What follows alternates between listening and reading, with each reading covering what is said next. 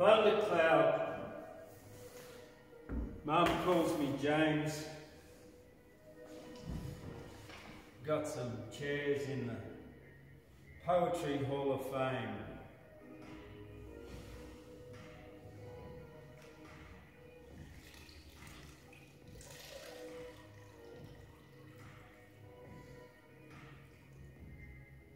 Well, there'll be times when life gets you down kicks you around.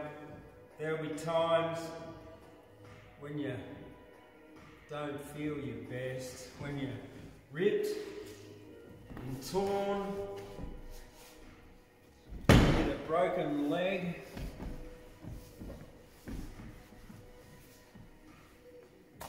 But there's always someone out there who will give you a hand, lift you up when life is bad.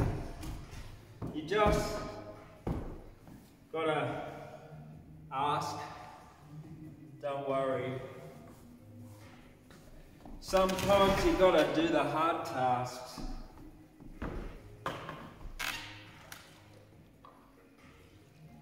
because it all adds up in the end. Works out for the best, my friend.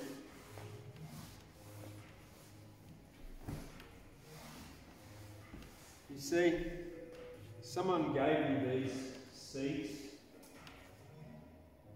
and I was feeling sometimes beat.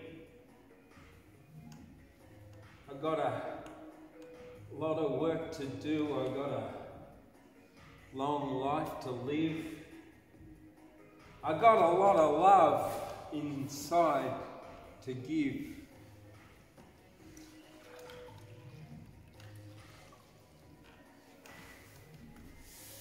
So all I can do is be me, take control of myself and be free like a man. I gotta pick myself up because I can. I'm here all alone in the middle of the night.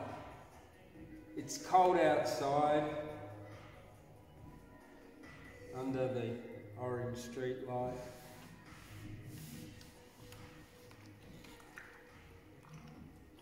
It's minus one degrees. And I've got these seats to clean, but I'm really blessed. I can look at life as its best. And even the hardest parts are a test.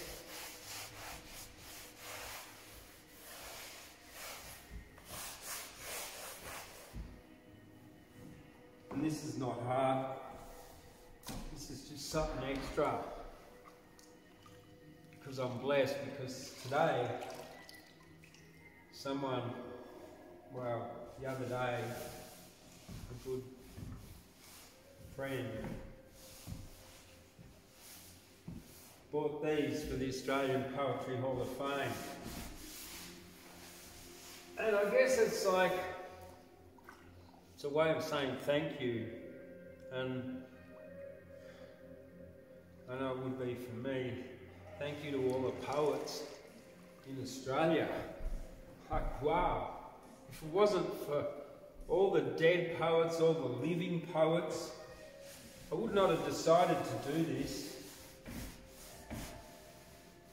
The Banjo Paterson, Oodgeroo Noonuccal, the Oodgeroo Noonuccal primarily, that's where I really got my writing on Minjerribah.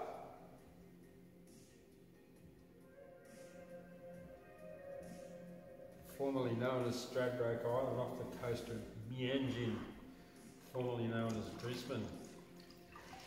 All the maps will have that on one day.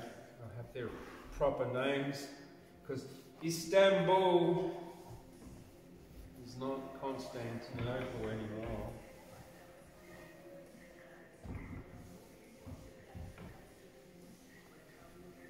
So, yeah, there's times where you're going to be battered and beat. It's been a pretty hard year for me, my family, but it's probably been hard for everybody. Well, I know.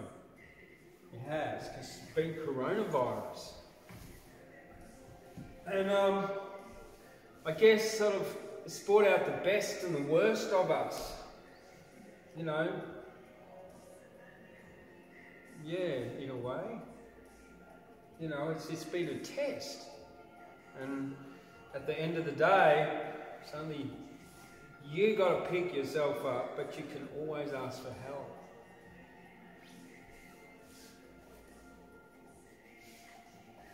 And there's nothing wrong with asking for help. Because, you know, we're all human and it's not like it's not like manly not to ask for help. If you can't lift something, you've got to get a hand, otherwise you do your back in. You know? You got to reach out to other people, use your voice and say, Can you please give me a hand? Or a leg up. And then you'll generally find that people are always willing to help. They might not have, like it might not be money, but they might give you a place to sleep. They always got your back. You know, if we all work together instead of separately, then we all get things done all together better we can do more and make a better place.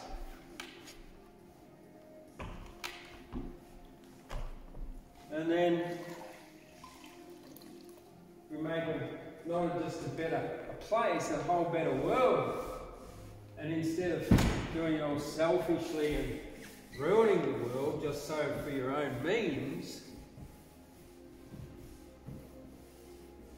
you actually can repair the world take something old and broken and take it back to a better way, a more positive way, or maybe take it forward to a new positive way that involves both the old and the new. Together, old technology and new technology. Like sometimes like we don't need a lot of horseshoes made these days right? Because we do need some horseshoes, because people still ride horses in places. But we don't need as many because there's not like horses pulling carts everywhere, like there used to be. Everyone riding their own horse, because now everybody's got cars and we're all working together as a society. Now what we got to do is work together not to make it just better for like some selfish people, but for everybody. So we've got to look at the systems that are broken and look, think, how can we fix this? What systems are broken? Well, the ecosystem for a start, that's like you just think of the word ecosystem, home system. Eco meaning where we live, our home. And it's a system because it's all connected. You know, flowers need bees and bees need flowers. We need honey. And bees need us to eat the honey.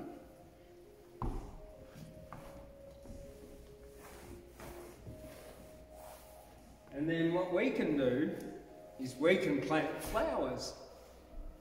And then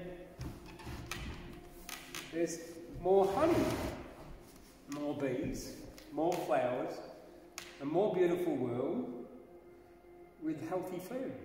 It's yummy. Honey in our tummy. And the best way to do that is washing. Got to do the washing. Like every day. Like if you don't wash your sheets, your bed will get stinky. Like full of skin and bed bugs and stuff like that. And mold. Well, that would just make you sick. So water you know, you wash your sheets, you wash your seats, and they take these old dirty ones that haven't been used for a very long time. Why weren't they used? Because they were dirty. Exactly. No one is going to sit on that, no matter, unless you're really already covered in dirt. Because you're going to get a dirty bum, and then you're going to sit on something else, so instead, we use some water. And we wash, and. It's a bit like the planet, you know. Right at the moment here in Australia, it's a good year for rain. It's cold. What's that mean? It's not a drought. I know it's in California, it's a big drought. But that's when we can take, take benefit. And we can say, okay, it's a good time to plant lots of trees along the rivers. And if we plant lots of trees along the rivers, then there'll be more rain. Why? Because trees take water out of the ground with their roots and they transpire. And that goes into the air. And if there's lots of trees, then you've got something called rainforest. Simple as that. But if we cut down the rainforest and we cut down all the other trees, well, of course, there's going to be less rain. Like, fundamentally, climate change occurred like back in the 1800s and the early 1900s in Queensland when they went there and cut down all the trees between, like, well, from Grafton all up the coast, all the way up to like past Gympie, Maryborough, and all of that. That fundamentally changed the climate in Australia before any cars and shit like that. And in order to reverse climate change, we've just got to plant more trees. And that, then, because there's lots of CO2 in the air, well, then that will grow those trees because unlike humans who breathe oxygen and breathe out CO2, well, the trees breathe in CO2 uh, and breathe out oxygen. And so trees breathe just like humans. And at night time, they breathe in carbon dioxide or whatever it is, uh, oxygen, and they breathe out carbon dioxide. But let's not talk about that because they're kind of sleeping. Anyway, back to Earth. If we plant enough trees, then at the end of the day, we will have more rain. And we will reverse the climate change that happened because all the trees were cut down in the first place. And this happened because what happened in southeast Queensland, they used to get rain all the way from December right through January, February, March, April, May, even this happened right down the coast of New South Wales. It was rainforest in the mountains, and then trees got cut down, and all that rain sort of dried up a bit, a fair bit actually.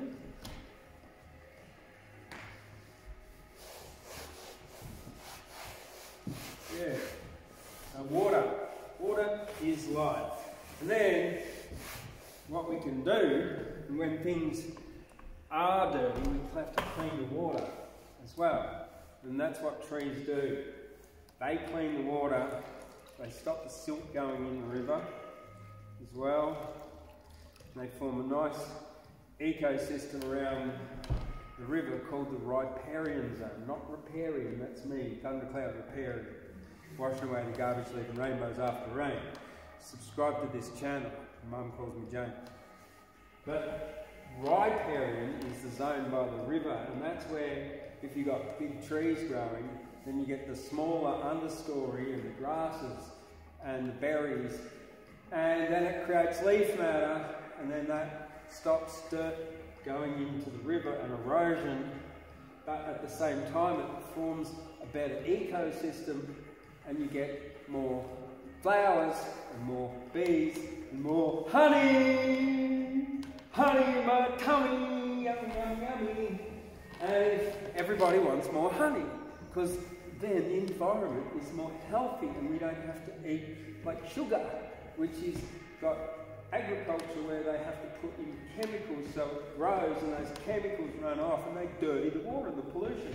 And that chemicals then get into our body as pollution as well and cause cancer. That's why cancer's gone from like 1 in 40 back like 100 years ago to almost 1 in 3, 1 in 2 in some countries. 1 in 2 people at some time get diagnosed with cancer. Mind you, the diagnosis rates are better.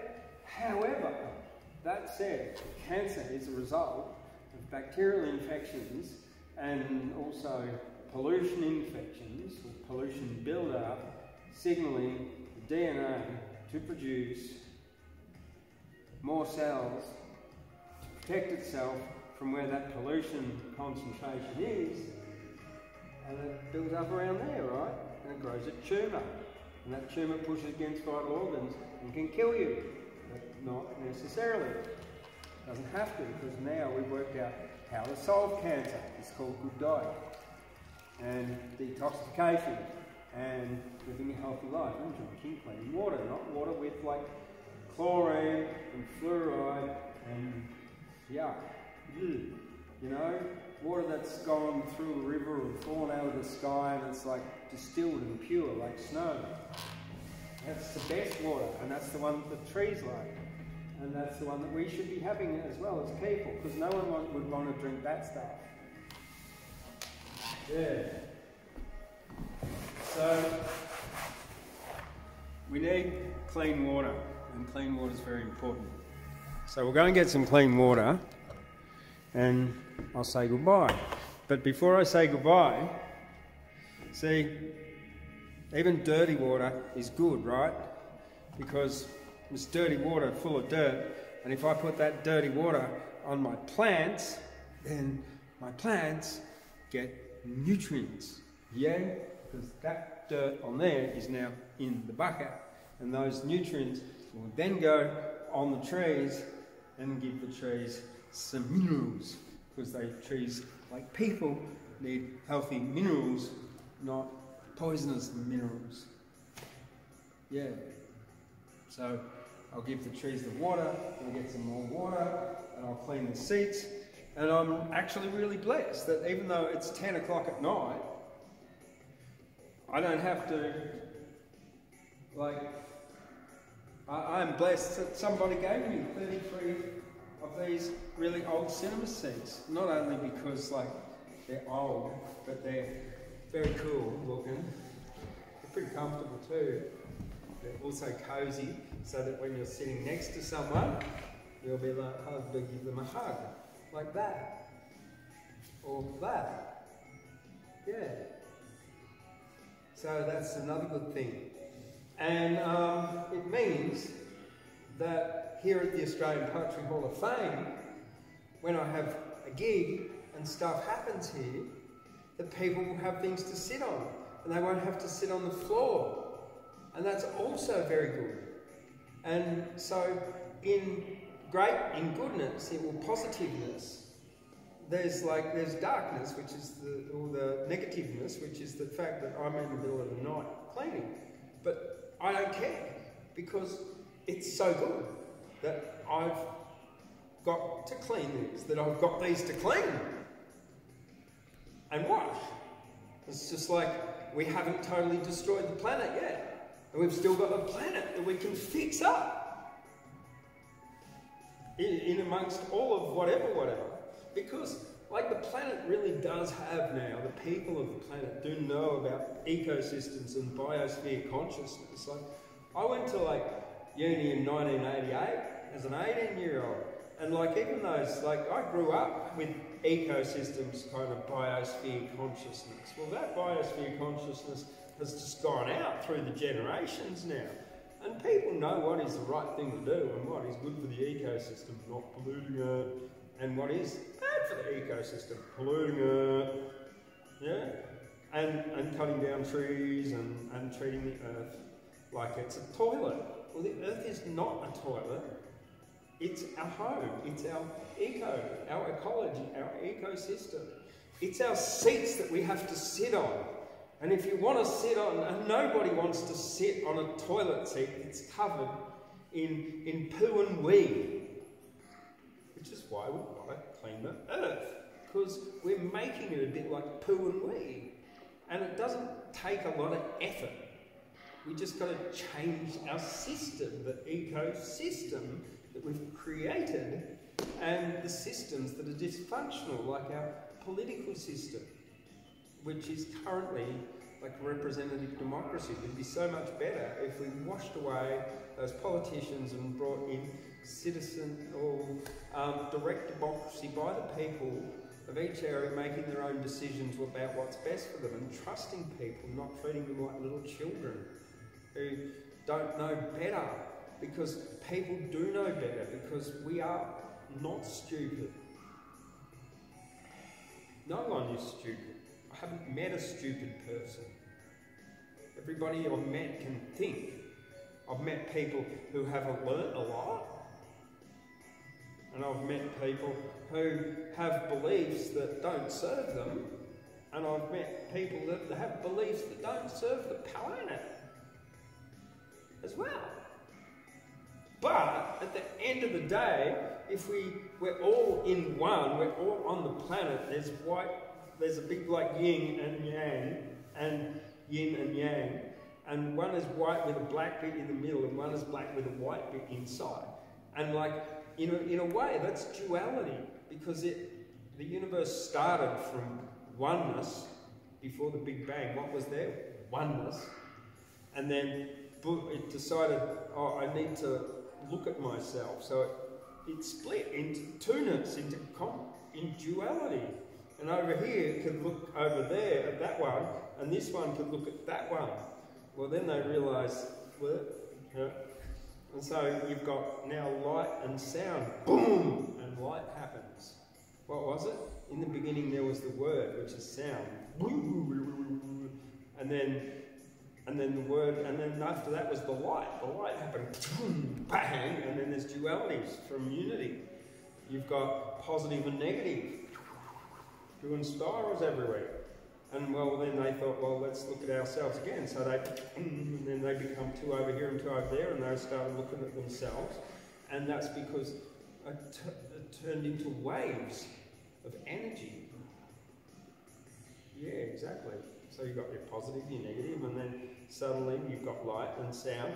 Matter! Why? Because everything, the two are trying to look at each other, so they're spinning and then they divide, and then they start spinning, and then they divide, and they're spinning, and so they're spinning energy vortexes everywhere, because the universe is fundamentally energy. And from there, all those vortexes kept interacting, creating more and more and more and more and more, and spreading out. And the probability that the Earth exists is pretty high and probability that other planets exist is very, very high too, in exactly same kind of life. And in fact, so once we got light, we got mat, we got we got sound, and we got matter. What are we? We're the Trinity, and here we are in this dimension, given oh, a most beautiful planet to live on called Earth. And when you look at it from space, it's blue and it's got white puffy clouds on it, and when you zoom in, it's got amazing patterns in the desert and trees and, and little buildings and little people on trails like ants running around everywhere, and big, big patches of water with, ah, oh, it's like a big swimming pool. And, and here we are, we've been given it to look after because it's our home, our ecosystem, and our systems are a bit dysfunctional.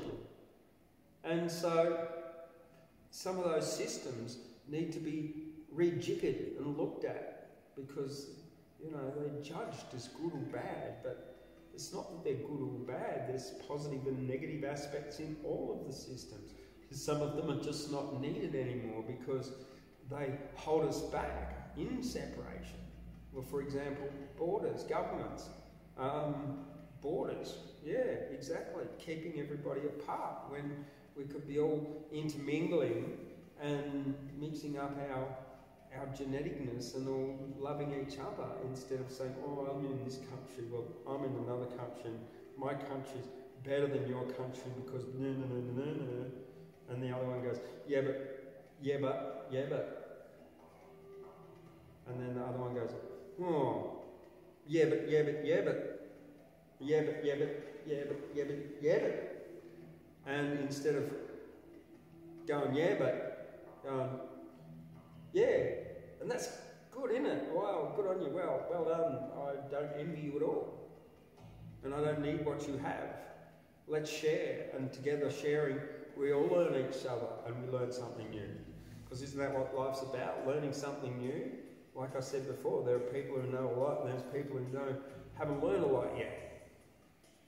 And if we can help and you know, and we can help them and they can help us. We can learn from the ones who haven't learned a lot and the one the people who've learned a lot can, yeah, and the other way around too.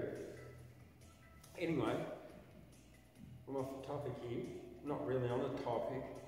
I'm just sitting here on seats, old theatre seats that I've been cleaning, talking now. But at the end of the day, it's night.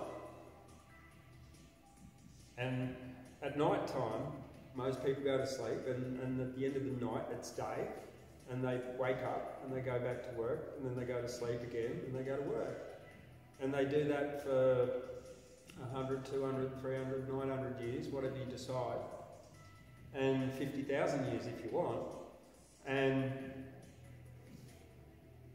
trying it out until you learn your lessons, whatever they may be, or not, or just helping other people learn lessons. But anyway, we're washing away the garbage, leaving rainbows after rains. That's what clouds do. Mm. They philosophize. Because you don't hear them speaking much, so clouds have a lot of time to think. Well, clouds are water, we are water, we're a big water bag of big water bag. And if you pollute your water, you're to get sick, aren't you?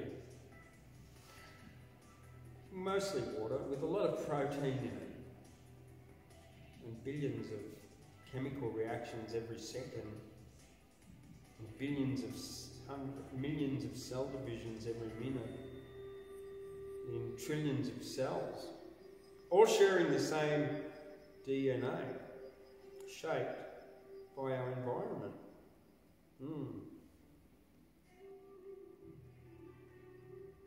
Yeah, shaped by our environment, what we put in. And we shape the environment too at the same time. We decide what we put in. Are we going to blindly believe like what the government's put allow sold on the shelf just because it's in the supermarket doesn't mean that it's healthy for you. Have you ever read the labels?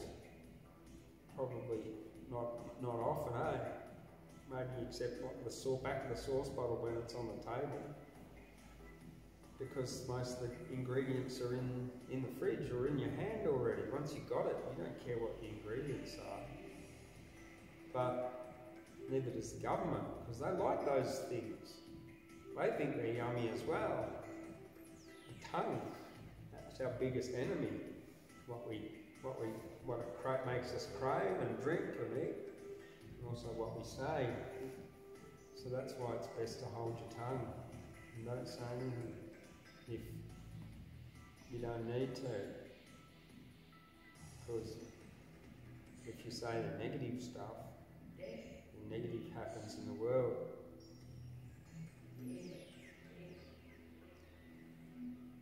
If you say the positive stuff, you can talk it up and you can make it happen. Because in the beginning was the Word. It comes out here and it travels across there into your ears, then you hear it.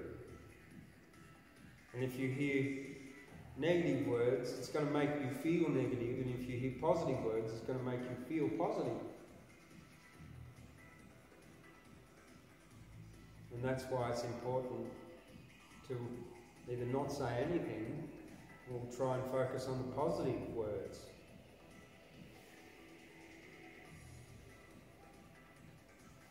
And then what you what you want in life, what you're going to do, what's your purpose, what's your mission. No mission, purpose. Purpose is here for me is to be a lyricist and to preserve other poets' works because it's very important. You know why it's important?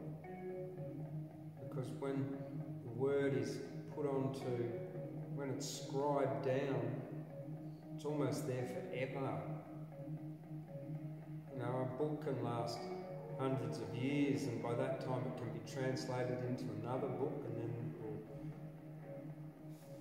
read, put out a new edition.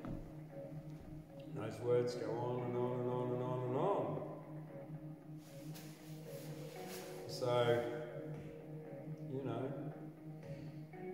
why it's important if you want to change the world, use word, world changing words. Um, the ones that people want to hear, that make them feel good, that make you make them want to do good, that do positive and, and lift themselves up because at the end of the day we can lift ourselves up and we can lift each other up together.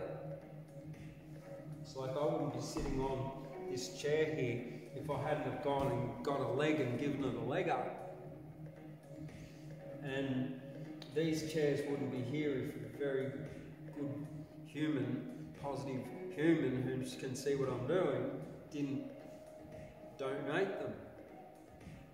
And, and the fact that they're here is very, very cool for the Australian Poetry Hall of Fame and the Arcadia Theatre because, like, everybody likes to see this old retro stuff in an old theatre because it's cool and it's old fashioned and it brings back good memories of when they used to go to the cinema and it preserves poetry and it gives people entertainment up there and a good time. They get like good performers and they walk away smiling. They do. And that's very important because there's a not there's too much unsmiling in this world sometimes. And if we can make people smile, then they can forget about this other sadness in the world and focus on also bringing joy to other people's lives and giving back to the community, the ecosystem, working together like the bees work together to make honey. You know, there's not many species out there where they eat each other and they do damage to everything else. No, they all just live in harmony. In fact, all the animals lived in harmony. It's humans who are not in harmony with the planet. And we can be. It's not rocket science, it just takes a decision to do no harm and to nurture things. Because nurturance is a universal law. Nurturance of all life. It is, it's the simplest law ever nurturance of life. What does it mean? It means to make sure the water's clean, that you do your washing, and you don't flush, you know, don't throw your poo in the street, or your cigarette butts in the, in the drain, or your cans out, and that you minimise waste, and you plant trees and flowers and clean the water and wash the toilet.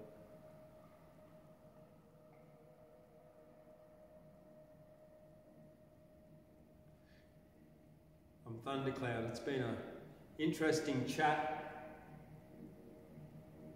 Mum calls me James. I'm here at the Australian Poetry Hall of Fame. We've been listening to some Psy dub track in the background, which is interesting. But this isn't for like making money. This track is here for just adding vibe while I clean. I've got lots of more seats to clean. Anyway, it's pretty late. I think I'll probably go to bed. I've spoken enough.